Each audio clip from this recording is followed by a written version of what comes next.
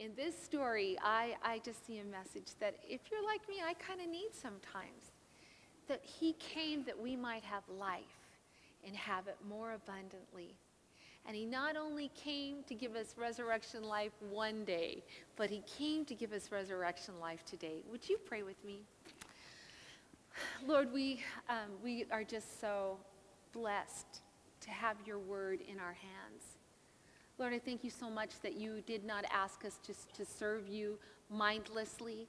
You did not just uh, somehow kind of, you're not this uh, far off God that's a little hard to understand, although we don't completely understand you. You've given us your word. And you even sent your son, Jesus Christ, in the flesh so that we could see you close up and personal that you came as God with skin on. And, and you came, Lord Jesus, showing us what the heart of the Father was. That, Lord, you want to interrupt all of our fallenness and, and the tragedies and the difficulties of this life. And in the middle of this life, you want to bring us life more abundantly. And Father, I just acknowledge today that in myself I have nothing. But I pray that by your Spirit you would speak through your word. And Lord, I'm just going to be so bold to ask Lord Jesus that the dead places in our lives would be resurrected this morning. That, Lord, those of us that struggle with so many different issues and besetting sins that keep, keep tripping us up and we keep going back to, that today, Lord, as we reach out to touch you, you would set us free and you would heal us, Lord. I'm asking for a pivotal moment in eternity to happen today on April 13th, 2014 as we just open our hearts to your work. In Jesus' name, amen. Amen. Well, let's go ahead and, um, well, let me give you a little bit of background first. Um, one of the things that I find so interesting about Jesus, and as we're coming up to Easter, that he told his disciples over and over that Easter was going to happen. Did you realize that? Do you know that he said, listen, guys, this is what's going to happen. The Son of God is going to be handed over. He's going to be crucified and he's going to die. And then he's going to raise three times, three, three times. Oh my goodness. He's going to rise on the third day. He told him that. In fact, seven times in the, the chapter in the Gospel of Luke, Jesus makes it clear this is what's going to happen. Anyone ever just sort of go, yeah, yeah, God, whatever, but I, this is how I want it to be? Have, have you ever done that? I know I do. I, I, God says, Joanna, this is, you know, you may have to walk through struggles. Oh, praise God, I'm more than a victor. I don't have to have anything bad happen to me. Right? I, he says, the Bible says, listen, you're perfected through your suffering just like the Son of God was. And we're like, yeah, I rebuke that in the name of Jesus because I don't want that. I want the good news. I want resurrection. I want the testimony. I don't want to have to go through the cross to get there. I don't want to have to go through the difficult times to have the image of Christ shaped in my life. I, I just want the magic wand and poof, I want to arrive. And yet Jesus says, listen, there's a process, and, and it's a process that I'm going through so that you can have life and life more abundantly. So he tells the disciples, they just sort of dismiss it. Uh, and then when he's crucified, you know the story, they're all in dismay. They can't believe what has happened because here's the deal. They had in mind that Jesus was going to come and set up an earthly kingdom, right? Jesus was going to overthrow the Rome, Rome and he was going to set up his kingdom and they were pretty sure that they were going to sit on the right and they were going to sit on the left and they were going to rule with Jesus. Woohoo! It was going to turn out just the way they wanted it to, even though Jesus said so clearly that's not how it's going to happen tells him that. And then three different times in Scripture, he actually proves his power over death. And one of those stories is the story we're going to study this morning. But the first one is found in Luke chapter 7, verses 1, 11 through 17, where Jesus is on his way. He sees a funeral procession. It's a widow woman. Her only son is dead. They're carrying him in a coffin. Jesus stops, says the word. The young man sits up. That would be exciting, wouldn't it? Just sits up, and he's made fully alive. Jesus proves that he has power over death. And then, of course, my favorite story about his resurrection power is John chapter 11, where he raises Lazarus from the dead. But I want to share and really focus on the story of Jairus' daughter found in three Gospels Matthew 9, 18 through 26, Mark 5, 21 through 43, and Luke 8, 41 through 46. And so, as we prepare to go to that scripture, I'd like to just, uh, as we look at that story, I'd like to just read this as is found in Matthew 9. Verse 18 While he was saying this, a ruler came and knelt before him and said, My daughter has just died, but come and put your hand on her, and she will live. Jesus got up and went with him, and so did his disciples. Just then, a woman who had been subject to bleeding for 12 years came up behind him and touched the edge of his cloak. She said to herself, If I only touch his cloak, I will be healed. Jesus turned and saw her, and he said these words Take heart, daughter. Your faith has healed you. And the woman was healed from that moment. Now, when Jesus entered the ruler's house and saw the flute players and the noisy crowd, he said, Listen, go away. The girl is not dead, but asleep. But the people laughed at him. After the crowd had been put outside, Jesus went in, took the girl by the hand, and she got up, and news of this spread throughout the region. Now, what's interesting is that we not only have a story of resurrection, but we got a story within a story about resurrection. And I'd like to unpack that today because I just saw some amazing things. Because, first of all, I want you to consider this you've got two people with a problem. You've got Jairus, who is the ruler of the synagogue we find in other gospels. We're told in other gospels that he, that he has a daughter who he loves dearly. He's well known, he's well connected, and yet the woman in the middle of the story is really forgotten and anonymous. We don't even know her name. One was wealthy. According to other, um, other versions of the story in the other Gospels, the woman who had the issue of bleeding had spent all the money she had. She was living in poverty. One was well known, one was forgotten. One was wealthy, one lived in poverty. One was a leader in the synagogue, while the other, because of her problem, was not even allowed to worship in the synagogue. As I studied that out more, I saw another little interesting parallel. For 12 years, Jairus had enjoyed his only child, the light of his life. For 12 years, the unnamed woman had suffered in her body. Isn't, isn't that interesting? Two different people living on two different, different sides of society. Jairus, because of his position perhaps, and perhaps of the confidence that it engendered in him, came directly to Jesus, fell at his feet, and said, Lord, would you come? Would you heal my daughter? The other woman, so despised because she was considered unclean by the religious elite, uh, the issue that she had made her on the outside looking in. She was so, so uh, worried, perhaps, so unused to having the permission to come even into the presence of religious people. She secretly came to Jesus. Let's look at that. I want to look at it a little bit more in the book of Mark, chapter 5, because it gives some really interesting details. As I told you, Jairus was a desperate father with a sick daughter. And yet, this synagogue ruler, who may or may not have believed in Jesus, perhaps he'd kind of been part of those that had thought that, well, you know, he's making a lot of claims and there's no way of knowing it. But have you noticed how desperation tends to strip away all of our prejudice?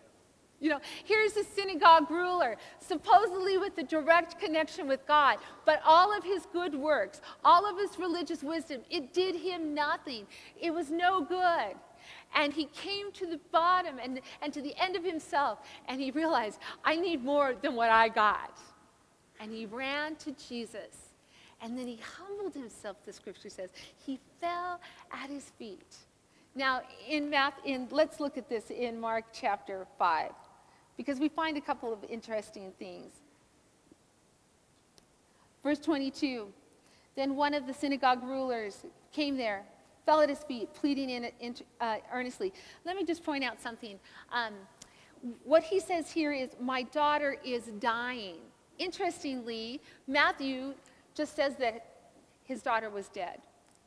Do you ever run across stuff in Scripture where you go, wait a minute, why does, why does Matthew say that she's dead and Mark say that she was dying? Uh, what I love about this word is that it is the inspired word of God written by men written by people. And so in the Gospels, sometimes we'll find those little discrepancies. And because have you ever noticed that if you're standing on a street corner and all of a sudden there's an accident and you tell your version of what you see, it'll be different than what the person across the other side of the street saw? And, and as a writer, I find it really, really comforting that actually this word was not tidied up in editing right? In fact, rather than diluting the authority of God's word, to me, it actually confirms it. God lets holy men give their, their um, version of what they saw and what they heard. And so he, perhaps it's also because the book of Matthew is sort of a synopsis, it's shorter, and, and so they just wanted to kind of uh, consolidate the facts. But Mark 5 tells us that the daughter was dying, was dying. Ah. And, G- and Jairus says, Please come. And the Bible tells us, so Jesus went with him. But here's where the second story intercepts the first story in Mark 9 24. Excuse me, 524. A large crowd followed and pressed around him and a woman who had been there subject to bleeding for 12 years. Listen to this. She had suffered a great deal under the care of many doctors and spent all she had. Yet instead of getting better, she grew worse, grew worse. But she thought this in her heart. She said, verse 28, if I just touch his clothes, I will be healed. And verse 29 says, immediately her bleeding stopped and she felt in her body that she'd been freed from her suffering.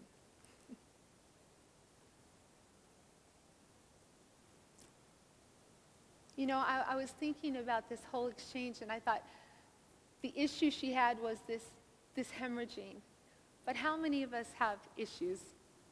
Issues that we've struggled with for years. Anybody? You know, it's like, man, why do I keep struggling with this issue? Why, why, even though I've tried everything I can to get over it, I still am in this predicament? You know, I, I wonder if this woman, I wonder if she didn't wrestle a little bit within herself and say, you know, I've tried everything else. I, I, I'm sure that won't work. You know, I'm just going to have to settle for where I am in life. But instead, something rose within her heart, and she pressed in and she touched Jesus and she was healed. Can I just introduce the first principle that I see in this story within a story? Number one, no matter what end of the spectrum, no matter what side of society you find yourself on, you are important to God.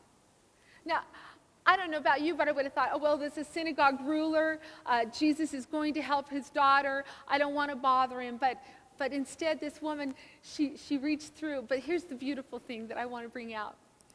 The moment she touched his garment, the Bible tells us Jesus felt power go out. And he stopped what he was doing.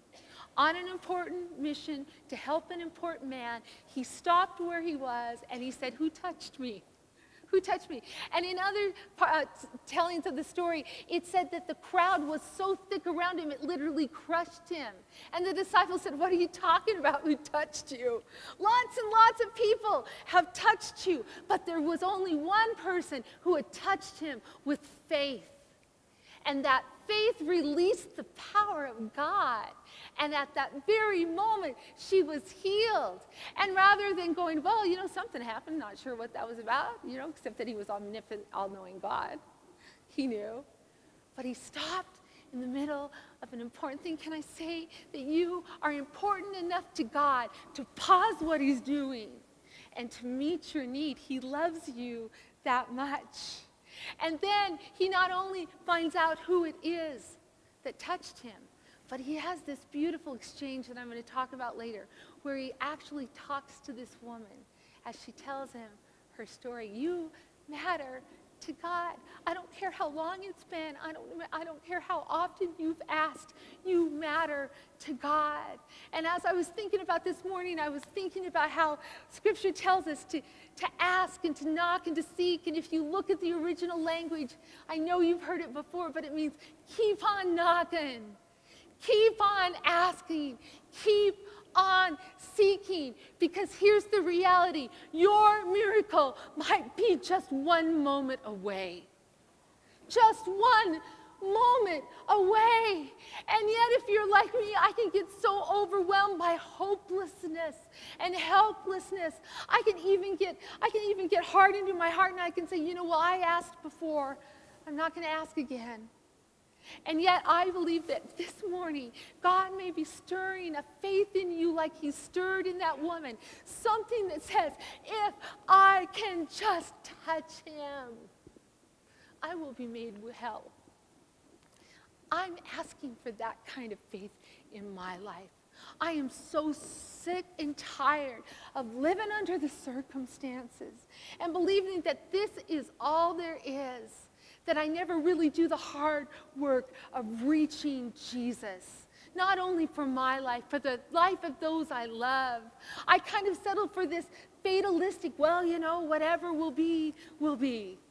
And yet in this story, we see that there's something about tenacious faith that touches the heart of God. Don't give up seeking. Don't give up asking. Don't give up knocking because you are important to God.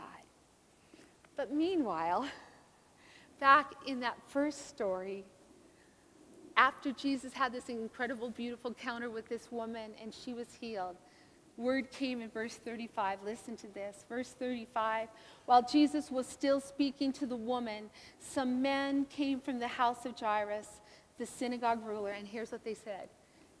I mean, talk about unfeeling and really bad bedside manner.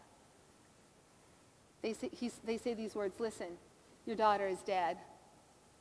And then they say this phrase Why bother the teacher anymore?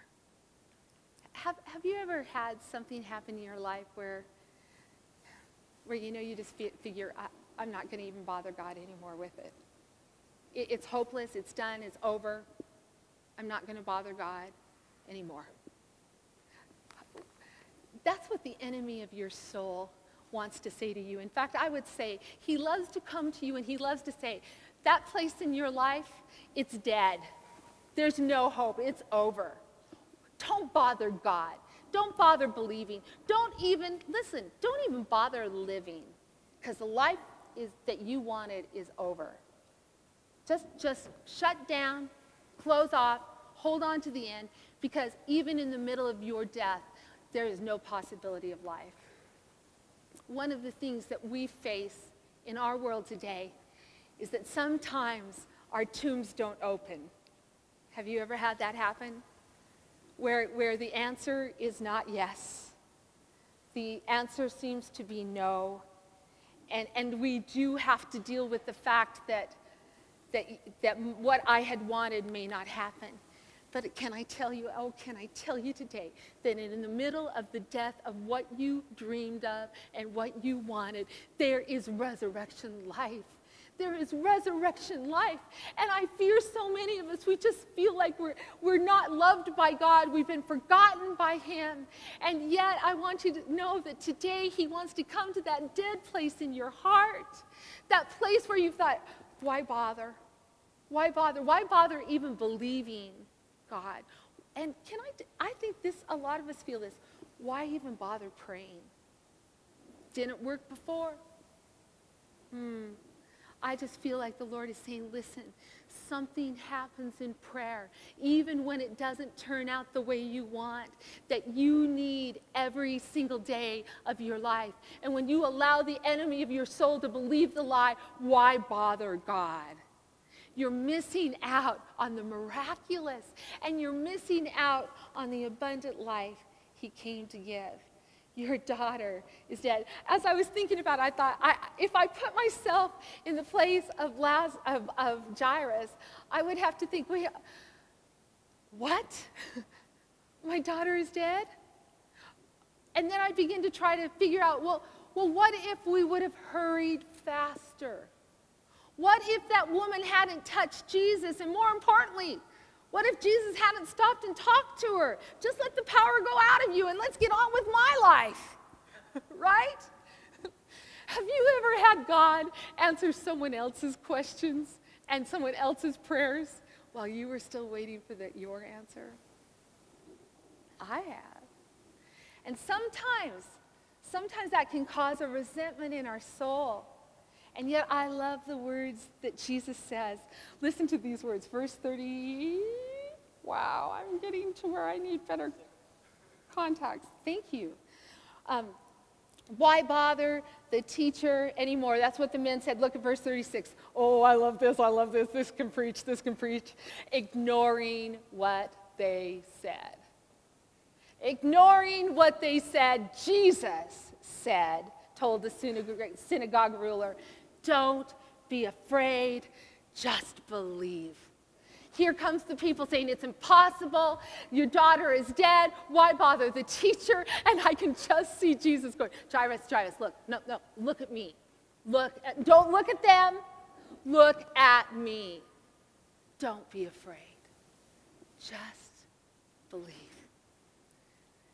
And can I just tell you, there are times where Jesus has to say those words to my heart so that I'll shut out the mockers and the disbelievers in me. In me. My own belief, disbelief. He has to say, no, no, no, Joanna, ignore that. Ignore the hopelessness. Ignore the despair. Look at me. And what I say to you, Joanna, is this don't be afraid.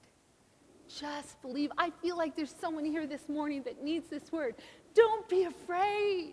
I know it looks hopeless. I know it feels like it's impossible. But Jesus is ignoring all of that because I, I already showed you. He is Lord over death. And He is Lord over every single thing that wants to destroy you and dismantle you. He is the God of resurrection. So don't be afraid. Just believe. But I want to, and I should have inserted this verse. The principle number one is that you matter to God. But after those people said, why bother the teacher? I want to insert this principle number two. You are never a bother to God. You are never a bother to God. You know, there's some people who go, well, I, you know, it just doesn't seem important enough to pray about. You know, I know other people have much worse problems than I do. Can I tell you there is nothing too small, there is nothing too big that you cannot bring to your Father? You are never a bother to God. Never a bother to God. Verse 38, they get to the house. Interestingly, Jesus said, it says in verse 38, they saw, he saw a commotion with people crying and wailing loudly. Listen, the mourning was in full force. In fact, in the Jewish culture, they would, they would hire musicians. Uh, I believe it's Luke tells us that there were flute, flute players playing, and there were, there were mourners wailing. If you didn't have enough friends to come wail at your funeral, you'd hire them. How would you like that for a job? You know, honey, I'll see you at five o'clock. I got to go wail.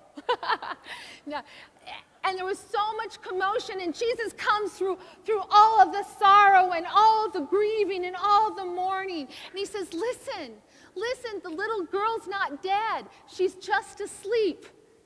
And they're like, Yeah, right. She is most definitely dead. And can I just tell you, Jesus knew that her life, as we know it, was over, but to him, that was no obstacle at all. All he had to say was just shake her and wake her up. She's just asleep. And you may have something that you feel has been dead and gone for so long. And the Lord would say, No, no, no, that dream, that dream's not dead. It's just asleep.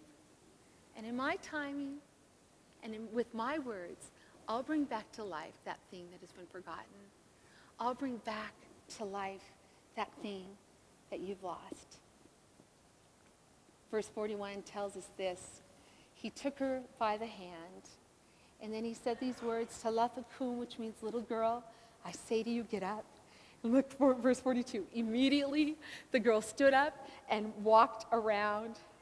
And then I love verse 43. He told him to give her something to eat. Is that tender? Is that tender? Here's this little girl. She's been sick and she's been dying. She's not only healed, but Jesus cares so much about her. He says, give her something to eat.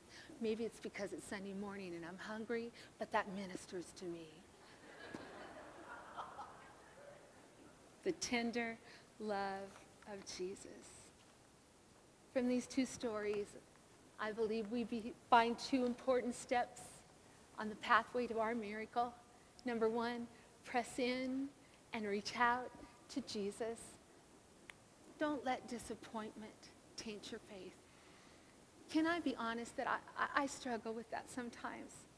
Because I haven't experienced the miraculous in the past. Sometimes I stop believing the miraculous for my present sometimes because God doesn't always behave the way I want him to do, and I, I get disappointed. I, I, just, I just sort of say, well, this is all there is, and this is how it is.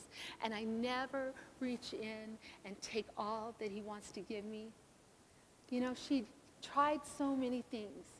It would have been easy to give up. But faith arose in her heart. And I believe that God wants to birth faith in each of our hearts. Where, you know, it's not, the, it's not the kind of faith that says, I want him to do it, and so I believe he's going to do it. But that kind of faith where you just sense him going, there's more, there's more. I want to do something in you, Joanna. I want to do something. And you feel that faith arise, and he says, he wants us to reach out and, and here's the thing the woman had to literally crawl through the crowd. And you may have to crawl through your doubt and your apathy and your fear and your helpless disappointment. You may have to do something to reach out. But today, reach out and touch Jesus. Because from this story, we find out that God's power is released by our touch of faith. In fact, Jesus said in verse 34, Your faith has healed you. Your faith has healed to you. Let him stir something new in you today. Number two, don't be afraid. Just believe. His words to Jairus. I've needed those words a lot over these last year or so as I've tried to do something that is so beyond me. And he's saying, Joanna, don't look at what you see. Don't look at your own inadequacies. Don't be afraid. Just believe because Luke 18 27 says, What's po- impossible with men is possible with God. In verse 40, when he got there and when he had said that she's only asleep and the people had laughed and scorned him, it, it says in other versions of this story through the Bible that he put them outside. He put out the mockers. And I am telling you, we need to start taking authority over the doubt of our own minds. And we need to say, you know what? I don't know how. I don't know when. I don't know what he's going to do. But I silence my doubt and I choose to believe. Don't be afraid. Just believe. But it's the response of Jesus to these two situations that have just echoed in my heart. In verse 34, back when he when he was talking to the young, the, um, excuse me, the unnamed woman. Verse 33 the woman, knowing what had happened to her, came and fell at his feet and trembling with fear, told him the whole truth. Need, you need to understand, remember, she was considered unclean. What was she even doing in a crowd of people? She should have been outside the city. In fact, she was required to shout unclean because to touch her would make them unsam- ceremonially unclean. And yet, listen to what Jesus said to this woman who'd been forgotten, to this woman who for 12 years, I, I need you to see this, for 12 years had not known a human touch. Perhaps she'd been married, had, I don't know if her husband had divorced her, I don't know if they'd had to live separated, but for 12 years of unending bleeding, outcast, and despised and even judged by some people as it being a sign of immorality. Jesus says these words Daughter, Your faith has healed you. Daughter, he called her daughter. And you may be on that side of society where you have done a lot of things that you're ashamed of. Your own guilt and your shame keeps you from reaching out and touching Jesus.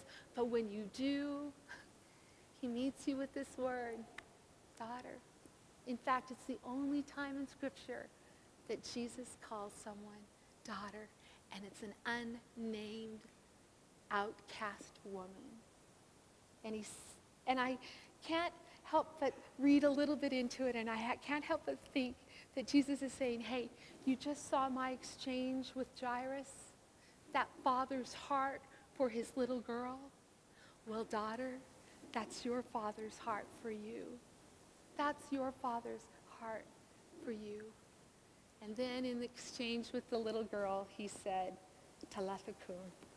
Talitha koum. And I'm, that's just been echoing in my heart, Talitha koum, Talitha koum. And it means, according to scripture, little girl, get up, which is just so beautiful. But do you know what? It's even more tender than that. It was familiar. It was familiar to people's ears because it was the greeting that a mother woke her child with every morning. Little girl, come on, honey. Come on, honey. It's time to get up. It's time to get up.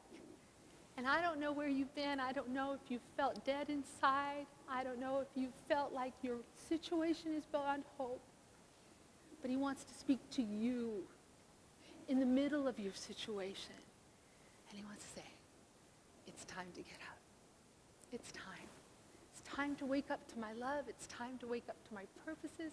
It's time to wake up to my acceptance and my grace. It's time, daughter, little girl. It's time to live. And I just felt this morning that the Lord wants to meet some of you this morning with that love and with that healing. And so I've asked some of our leadership team to come forward and and I I just believe that Jesus is in the house. And that he wants to meet you. And so if my leadership people would come forward, I, I'm just going to begin to play. And um, I'm just going to invite you to come forward. And because I think he's calling your name daughter, son, Talitha koum.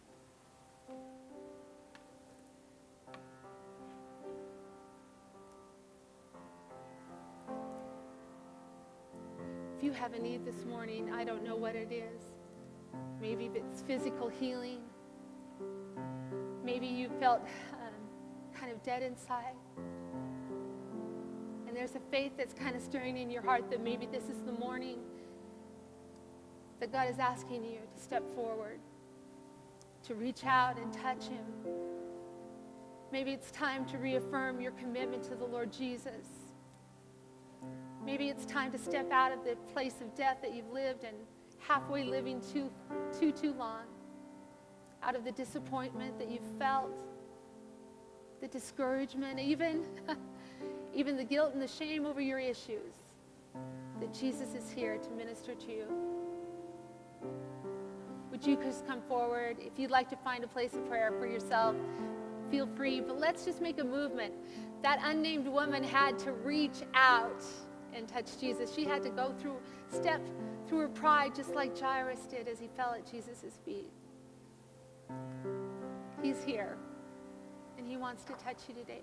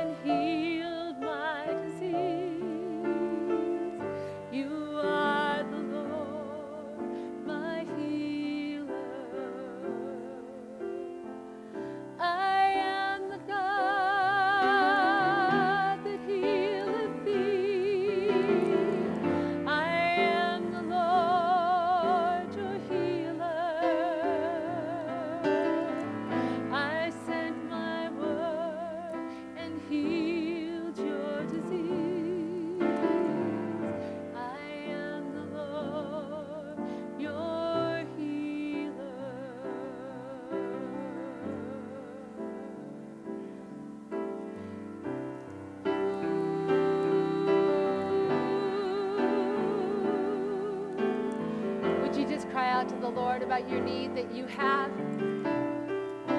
Perhaps, like me, you need to ask the Lord to forgive you for the unbelief that's just kind of crept up and shut you down in your relationship with Him. Maybe, perhaps this morning, you need to forgive God for not showing up the way you thought He would, the, thought, the way you believe you needed Him. But today, He's saying, I want to even heal that today. I want to heal and close that distance. I want to be your God once again. I don't want you to do life alone. Because I'm the God that heals you. I'm the God that heals you from the inside out. I know you feel, Lord, that perhaps you can't trust me, but today I'm asking you. Let us be restored to relationship, to let me help heal your unbelief.